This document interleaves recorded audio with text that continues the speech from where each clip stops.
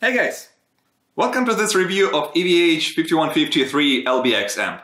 If you want to hear more about it, stick around for the second half of the video, but otherwise, here's a new original song with all the guitar tones recorded exclusively with this amp.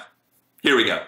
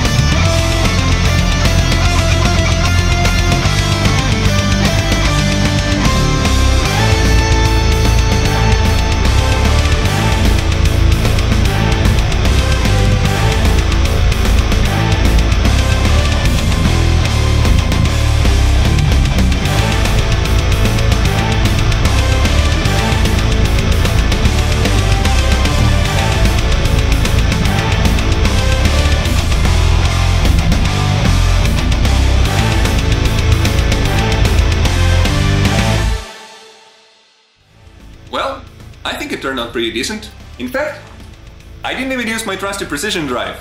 Just the amp and some post EQ on the guitars. Also, I should mention that to record this, I've been using impulses from Lancaster Audio, since, well, I'm not equipped to record a cabinet, and not that I own one anyway. But before I talk specifics, here's how this amp actually sounds on its own in different settings, with and without post EQ.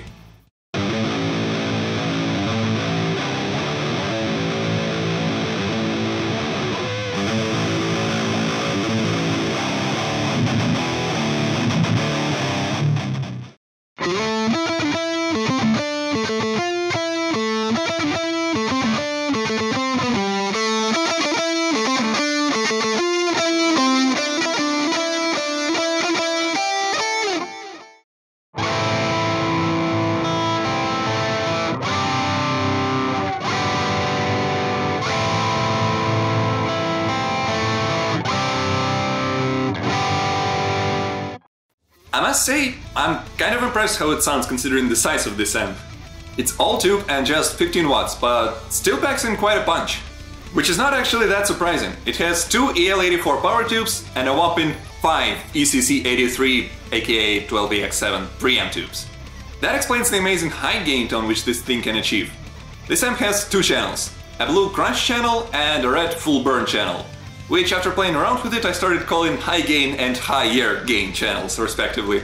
But I should also mention that it doesn't have a clean channel at all. Not that it needs one anyway. I'd rather it do one thing well than be mediocre at several. You can still get a clean sound from it by turning down the gain to the minimum and reducing the volume on your guitar, but I would not recommend this workaround. So that covers the hardware, let's talk about externals. The front panel has, from left to right, an input jack, channel select switch, gain knob, the usual low, mid and high tone controls, volume knob, and a presence knob, along with a big red power indicator. Moving on to the back, we have power input and easy access to the fuse, power and standby switches, a quarter power switch for a more silent operation when using a cabinet, effects loop, jack for a foot switch, which is included by the way, resonance control to fine-tune the low end response of the power section, impedance selector, and finally a speaker out.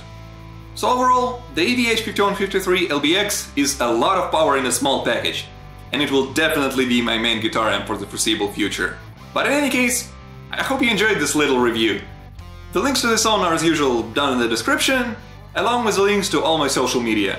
Please like, share, subscribe, click the bell, and until next video, Axeon, signing off. See ya!